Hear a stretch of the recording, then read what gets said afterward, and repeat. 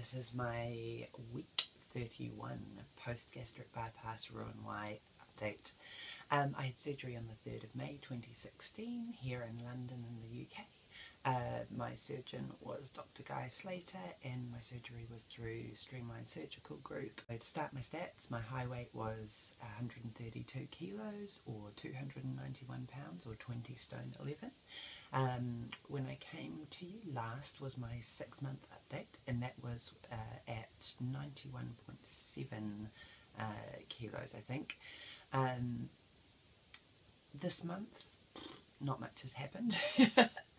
um, I am at 90.7 kilos for week 31, which um, I I'm just seem to be circulating between 90.1 kilos. That's the lowest that I've seen, and uh, 91.7 kilos. So somewhere around there, I just keep recycling the same pounds over and over and over again. But um, that's okay.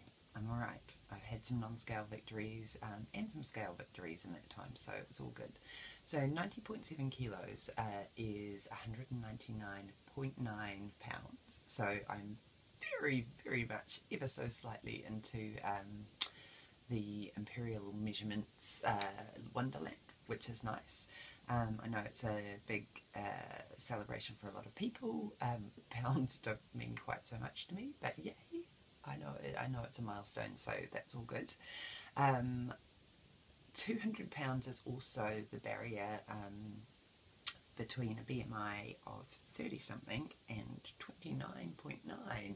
Um, so I have just broken that barrier as well, which means that I am now overweight rather than obese. So um, to um, to quote Britt Brett uh, VSG Britt Bratt, um, who has also just crossed this barrier, I have beaten obesity, one might say, um, which is also very bizarre.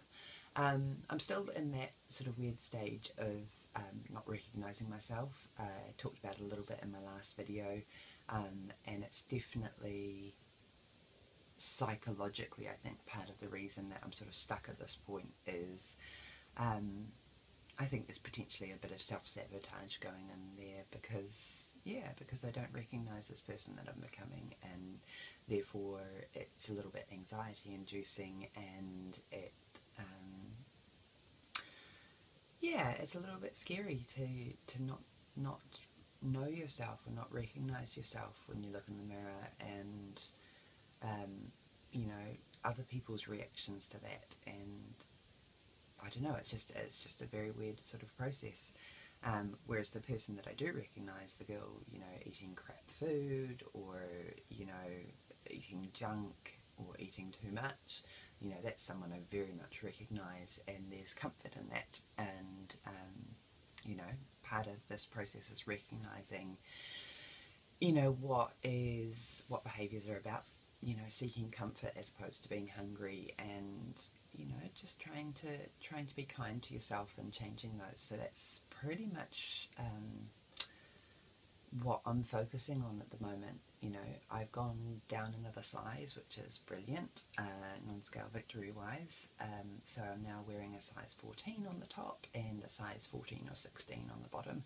I've got one pair of size 14, let's face it, let's not get carried away. Um, and they're a very stretchy pair of jeggings from Dorothy Perkins. Um, if you are in the UK or you do have access to Dorothy Perkins, their Frankie style of uh, jeggings are super comfortable, super stretchy. Um, and yay for yay for it being a size 14. That's a UK 14, which I think is a US 10. Um, I think off the top of my head.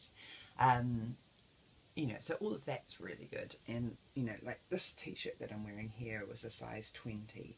Um, and I actually wore it in one of my early videos. I'll try and insert a, a little snippet here.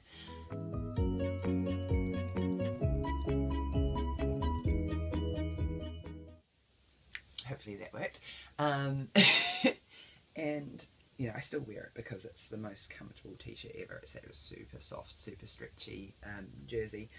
But you know, it, it, it's still bizarre to me that this is now really, really big when it wasn't before. And, you know, like getting items of clothing out of the wash and you know holding them up and just going, oh my god, there's just no way that'll fit.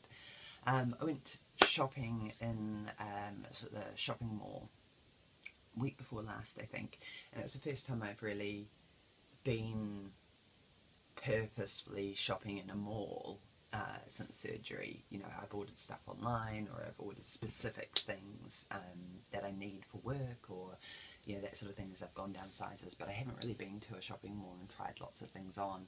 I went there and it was quite a bizarre experience. So, uh, you know, shopping and being able to walk into just about any of the stores and fit into the clothes is just an absolute mind warp. I think, you know, for me, I'm, you know, I've, I've talked before about how I'm vegetarian, um, and so when I go to a restaurant, I'm used to just going, okay, it's cool. I've got four or five dishes to choose from on an average menu, which is which is loads more than it used to be. Most restaurants used to only do one dish, but you know, so it's like, okay, choice, you know, choose something out. And then when you go to a restaurant that is solely vegetarian, you know, that that's what they do is vegetarian food, and you've got the whole menu to choose from. It's completely overwhelming, and I feel like clothes shopping was a bit like that. Like all of a sudden, there was so many more choices to be made. You know, I went into Zara, which is a shop which is uh, traditionally tiny sizing. you know, like even their extra large is small.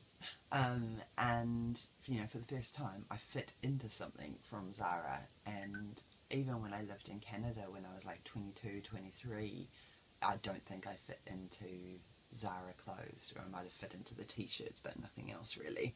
Um, and and that was you know when I felt a lot smaller. Um, but I fit into a extra large pencil skirt there. Get it because um, I felt like it still showed like the bulges and things like that and panty lines and all that sort of thing. I can't be bothered basically. Um, but just to fit into it was yeah just totally weird um, so I didn't end up buying very much I bought a blazer um, for work because my blazers are all too big and I bought a pair of jeans and these great uh, boat neck jersey tops from Primark which are like £3.50 each and pretty much living in those at the moment. I bought those in a size 14. Um, I'll try and insert another picture in here if I can get my photos because uh, yesterday I dropped my phone in the toilet. My iPhone 6 so that's not currently working so I don't know how many of the photos have actually backed up but if I can find one I will insert it in this video.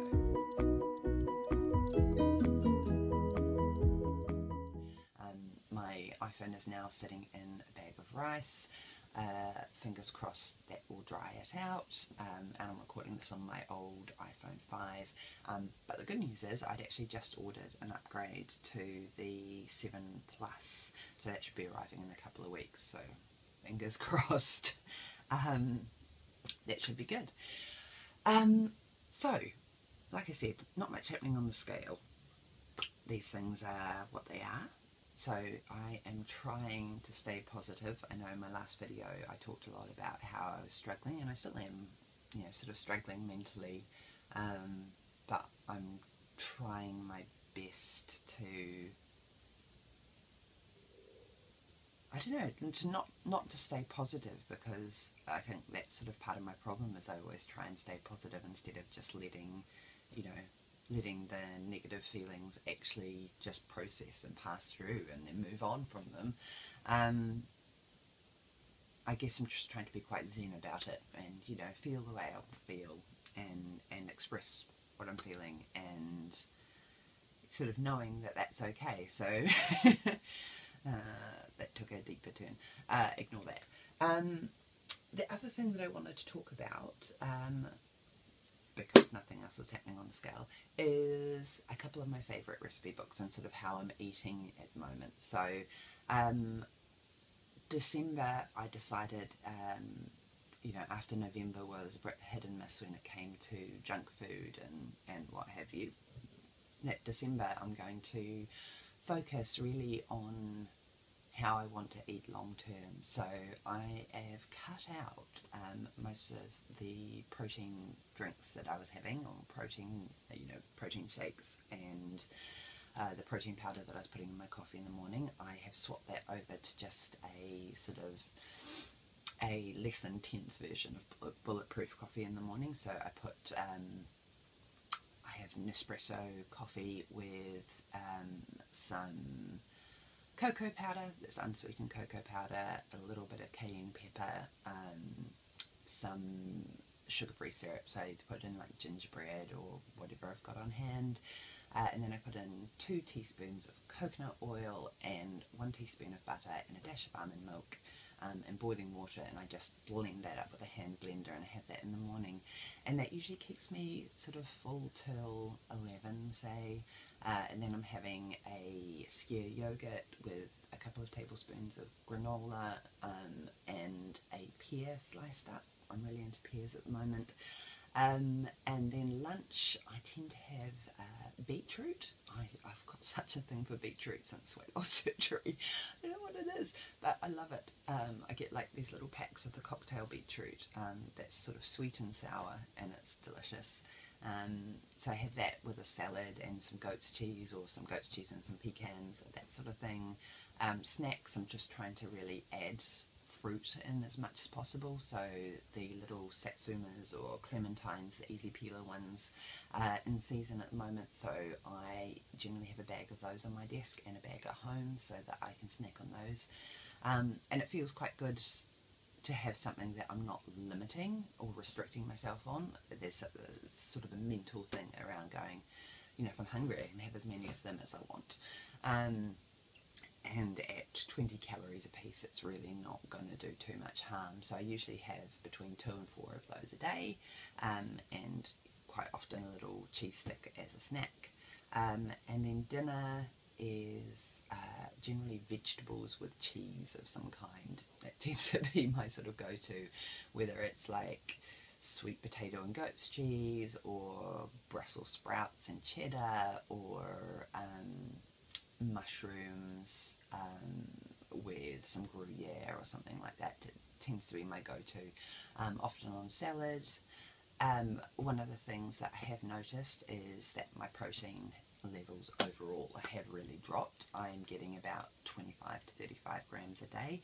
Ideally, I'd like that to be up around 40 grams, um, which I think as a vegetarian and without supplementing with any sort of protein supplements um, is probably as good as it's going to get while still, you know, keeping my calories in check.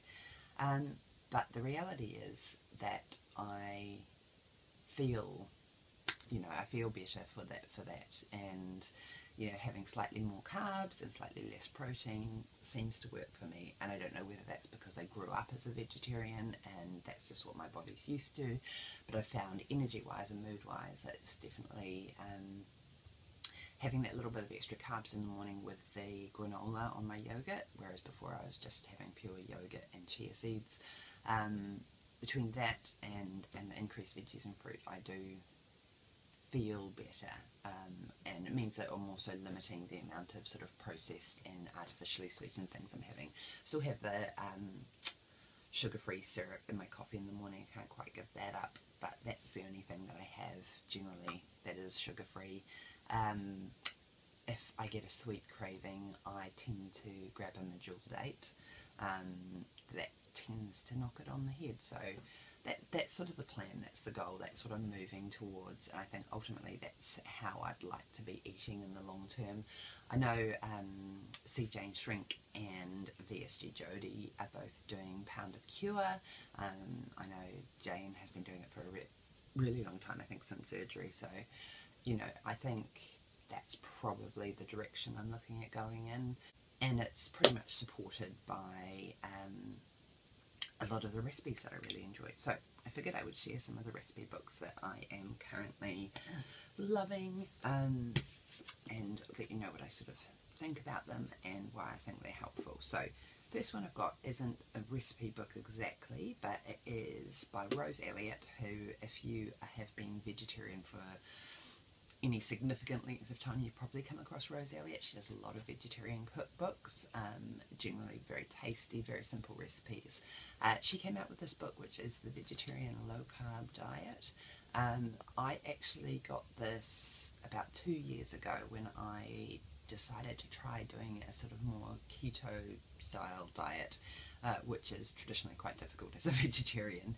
Um, her recipes tend to be lower carb. Um, she, you know, she does things like cauliflower cheese, um, tofu sort of recipes, um, scrambled tofu, lots of quiches, that sort of thing.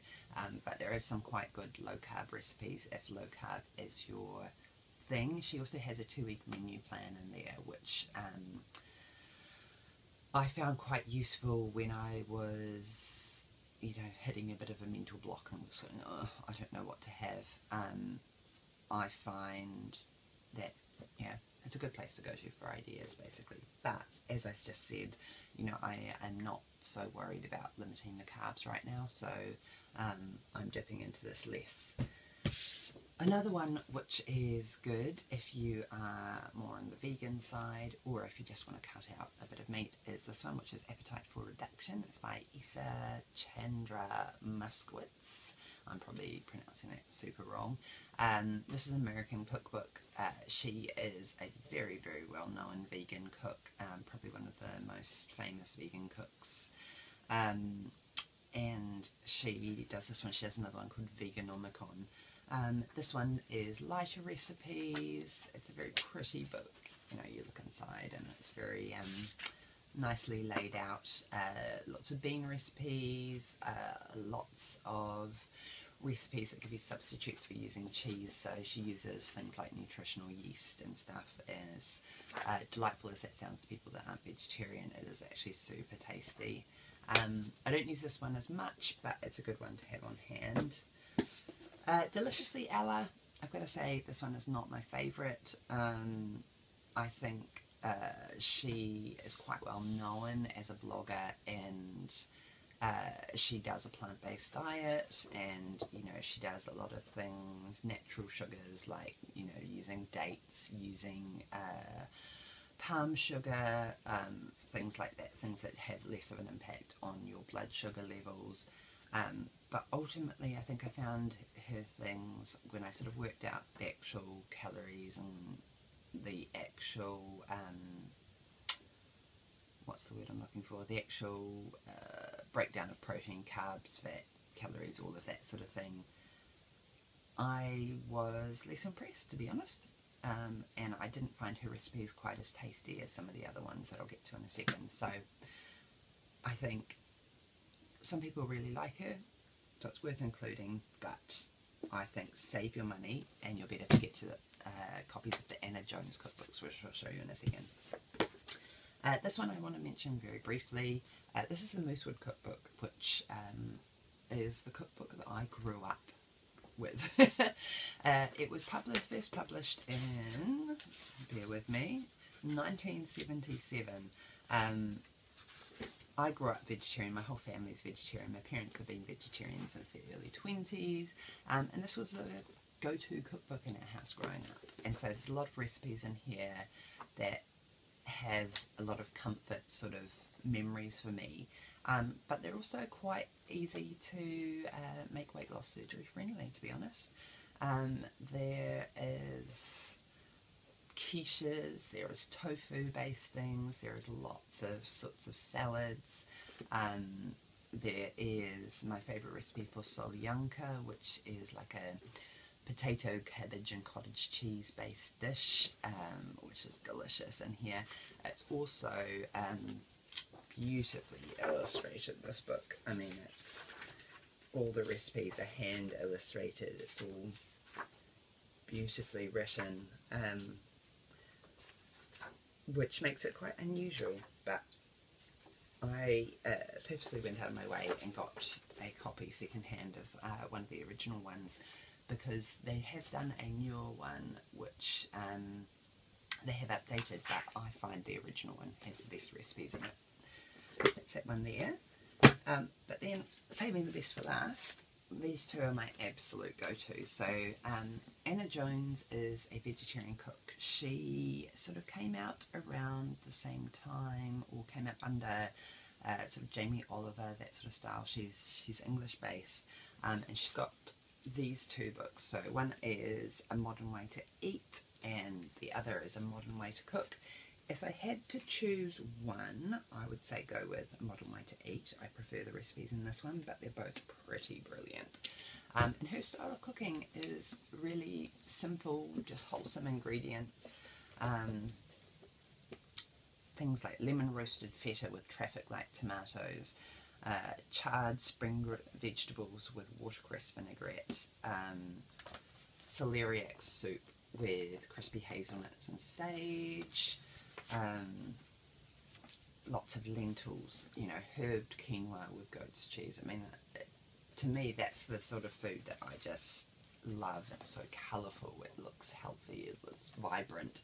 Um, and ultimately, I think that's how I'd like to eat. Um, and to be honest, I've tried quite a few of her recipes now, and I haven't come across a dud yet. So um, I think she's an absolute winner. Cool, so that's those ones. Um, the other ones that I like are ones that I've actually got out of the library, and that's the Ottolenghi cookbook. So Ottolenghi uh, has several uh, deli kind of restaurants in London. Uh, he also has some dinner restaurants called Nopi. Um, and so there's an Ottolenghi cookbook, there's a Nopi cookbook, um, and then there are three other ones that he's done. One called Jerusalem, which is all uh, food from Jerusalem. Uh, sorry. Um, and then he does one called Plenty, and then he did a sequel to that called Plenty More, which is lots of vegetable recipes. Um, and I'll try and insert some photos from the Ottolenghi restaurants here, because it's one of my favourite places in the world to eat. Um, it just has these big platters of these salads and these interesting flavour combinations. And again, very much like the Anna Jones books, it's very fresh, it's very natural ingredients it's not heavy on grains, but it does include some carbs. And to be honest, I think that's that's the way to go. I think you know I I don't want to cut out pasta and bread completely because I do really enjoy those. But I think having them once or twice a week is plenty, and the rest of the time, you know, getting those carbs from fruit, uh, fruits and roots, basically. Um, I can't remember who said that, but fruits and roots are the way to go. So sweet potato, uh, beetroot. Um, and lots of fruit. Like I said, I'm having lots of pears and oranges um, at the moment, and that seems to be working well. Um, so yes, fingers crossed things go better for me in December. Um, I, I mean, I am feeling positive. Um, looking forward to Christmas. Hopefully I'll get an update in before then. Um, but other than that, I hope everyone's doing well. And just before I forget, I can't believe this was sitting on my bed and I forgot to pull it out as well. Um, this is from today's Guardian newspaper. So if you are based in the UK um, and you feel like getting your hands on the Guardian, uh, Anna Jones, whose cookbooks I was just talking about, has a whole section on vegetarian Christmas recipes.